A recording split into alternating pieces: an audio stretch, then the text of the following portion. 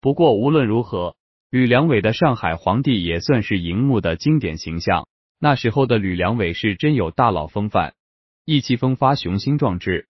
虽有原型做参考，但拍摄却也是走的野史路子，更注重娱乐化。这个剧本是真的很烂，而吕良伟是真的缺钱，大家也就一拍即合拍了这部烂片。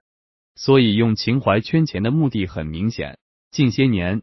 香港的这些老艺人似乎在内地网络电影里找到了发家致富的办法。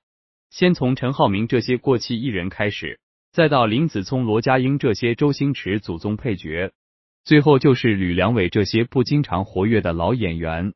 到底《烈马争锋上海滩》讲了个什么故事呢？说实话，我看完也是一头雾水。我是真不知道这个舞女的作用是什么，因为角色定位太模糊。我怀疑是打擦边球用的。片中还有一个上海大亨女儿的角色，这个演员演得太糟糕了。父亲死了没有悲伤的表情，每次出现都只是面无表情的念台词。我觉得他是投资人安排的演员，演得真是太烂了。虽然吕良伟出场时间短，但他比所有人的演技都要好，关键是有大佬气质。可惜为了五斗米，不得不拍这么一部烂片。就比如说陈浩民。他没有演技吗？如果碰上好的剧本，我就不相信他演不好。只是他需要养家糊口，网络烂片拍多了，也就没人找他拍好片子了。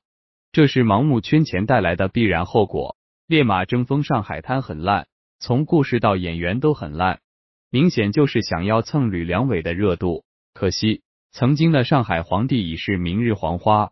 但即便这样。那两个整容脸的演员还是配不上吕良伟，演技这块更烂。